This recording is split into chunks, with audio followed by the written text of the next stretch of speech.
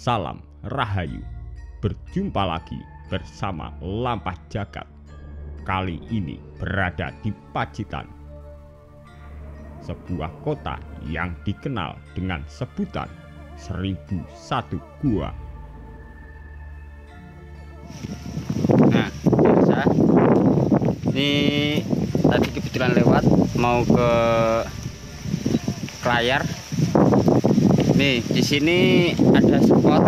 Kita nemu bukan nemu sih, kebetulan lewat ada spot gua itu namanya, guys. Tuh.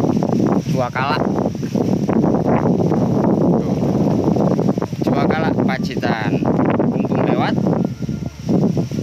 ingin tahu seperti apa guanya ayo ikutin perjalanan kita di gua Gua Kala Pacitan Gua Kala yang terletak di dusun Gua Rejo, Desa Sendang, Kecamatan Donorejo, memang menyimpan banyak misteri. Gua yang sudah dikenal sejak zaman dulu ini merupakan gua purba yang ada di Pacitan, Jawa Timur.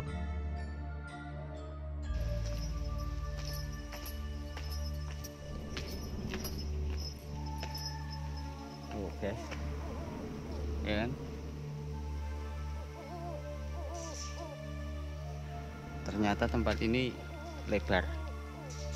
Tapi dalamnya seperti apa?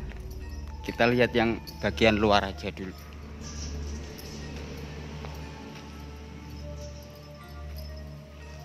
Ini bagian luar Nah, kita bisa ambil dari ujung dulu jadi pintu masuk ke gua utama biar kelihatan. Oke. Ini ya tuh yang di belakang saya itu merupakan pintu masuk utama menuju gua. Itu kelihatannya kecil kan tapi lebar itu sebelah dalam. Karena di sini nggak ada orang sama sekali nggak ada yang jaga atau nggak ada yang menunggu. Karena nggak ada izin saya pun juga nggak nggak mau dan nggak berani untuk memaksakan masuk karena ini bukan lingkup atau wilayah saya. Jadi mohon maaf pemirsa kalau nggak bisa ngasih tunjuk seperti apa ruangan yang ada di dalam paling nggak inilah tempatnya. Gua Cakala di Pacitan. Di selain mungkin selain tempat wisata ya ini juga merupakan tempat religi atau apa pun di nggak bisa saya menyimpulkan salah satunya karena nggak ada yang saya tanyakan atau apa. Itu makanya nggak berani saya menyimpulkan ini khususnya buat tempat apa. Yang secara umum aja ya ini adalah gua. Yang terbentuk mungkin secara alami. Gua yang disakralkan ini menyimpan banyaknya misteri dan kisah-kisah sejarah yang sampai sekarang belum banyak orang ketahui.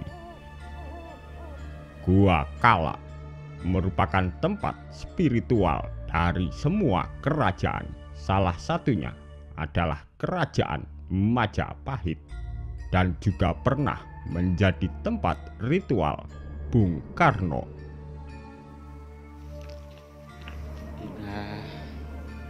Ini sebenarnya pengen masuk ya. Pengen masuk ke dalam pengen lihat. Ya dalam arti nggak memaksakan diri ya. Ini secara alhamdulillah secara diri udah berdoa minta izin.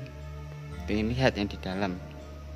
Kalau minta izin secara ya langsung sama penjaga karena nggak ada penjaga ya. Ini tempatnya terbuka. Ini yang ada tralis di belakang saya itu yang tempat tertutup. Hanya itu. Nggak ada yang jaga. Ya namanya buat mawas diri sama jaga diri atau jaga tempat ini. Jadi kita pun juga nggak boleh sembarangan. Dalam arti ya saling menjaga. Tapi ya alhamdulillah kita bisa masuk tapi nggak bisa sampai ke dalam banget ya. Karena itu kelihatannya yang dalam tambah lebar tempatnya. Ya. Kita lihat dulu ya biar ngobatin rasa penasaran. Nah ini juga nggak nggak bawa lampu ini. Assalamualaikum permisi ayo. Yes. ini bagian dalam. Tuh tempatnya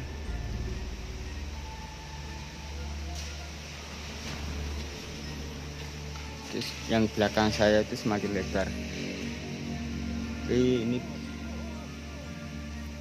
enggak enggak berani lanjut ke dalam ya cukup di sini aja banyaknya pusaka-pusaka yang tersimpan di dalam gua. Selain itu, juga terdapat sebuah ajian yang lebih dikenal dengan ajian Senggoro Macan. Udah tahu kan bagian yang di dalam? Ya itu tadi has. Kita kembali lagi. Kenapa di tempat-tempat ya mungkinan ini juga merupakan tempat yang sakral ya? Karena saya lihat tadi di dalam ada tempat entah itu buat bertapa atau apa.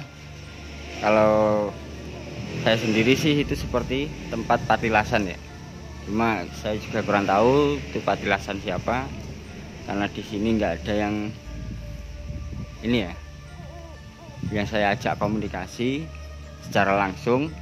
Dia mohon mohon maaf pemirsa keinginan. Suatu saat kalau perjalanan ke sini lagi pasti saya mampir. Jadi untuk menelisik lebih jauh lagi lebih dalam lagi tentang gua ini mungkin entah dulu zaman nenek moyang kita itu apa merupakan tempat buat meditasi atau tempat apa. Asalnya di dalam itu tadi saya lihat ada tempat buat meditasi. Nah selebihnya saya nggak bisa mengasih ngasih penjabaran lebih detail lebih panjang lebar. Ya karena saya bukan asli orang sini makanya saya nggak berani itu panjang lebar secukupnya aja. Ya paling nggak inilah tempatnya. Gua cakala.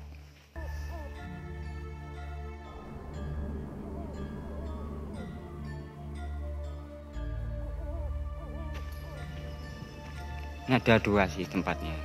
Cuma yang satu nggak nggak terlalu lebar agak sempit.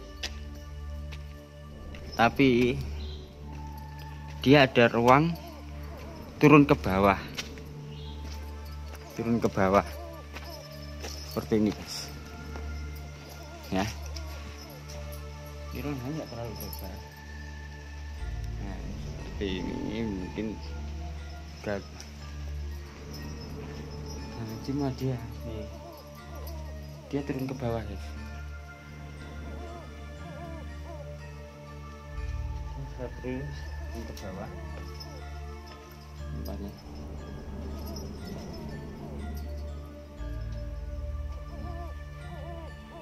Itu masih turun terus. Ke bawah.